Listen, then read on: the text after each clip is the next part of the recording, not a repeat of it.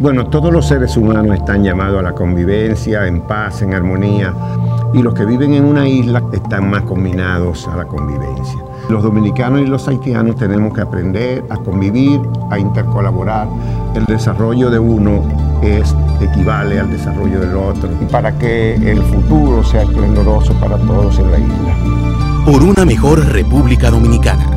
Convivir con todo es vivir con tolerancia.